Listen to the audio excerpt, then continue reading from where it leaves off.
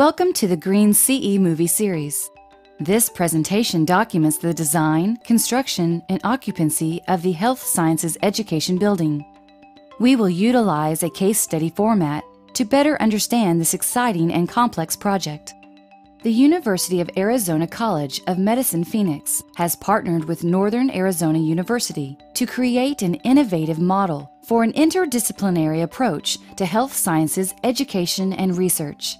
Both universities have adopted a goal of LEED Silver as a minimum for all buildings. The HSEB is registered under the LEED for New Construction, version 2009 rating system, and is currently attempting 66 points. The overriding uh, ideas behind this building was that this was going to be a building that could only be built here and nowhere else, and it should look like that.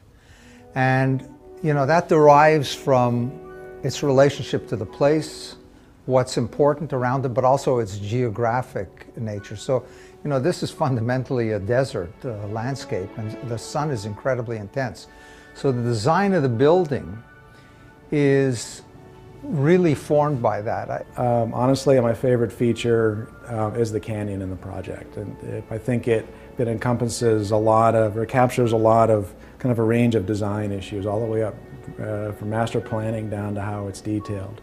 Uh, the scale of it, the intent, the, the inspiration um, for it from CO's point of view was you know the kind of striations of rock in uh, in a canyon, and so they've kind of played that out in their material use going up and down the canyon, up the up the sidewalls of the canyon. We incorporated BIM, uh, building modeling, very early, uh, from day one.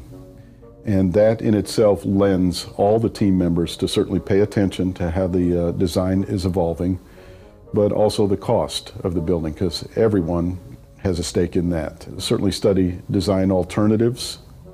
From day two, we set out this grandiose design, and then from day two, we incorporate design alter alternatives, value engineering, and, um, and go through that process. But everyone uh, certainly pays attention to the process and probably more importantly, is invited to the process. We, we take great pains to make sure that there's involvement by all team members from the very beginning.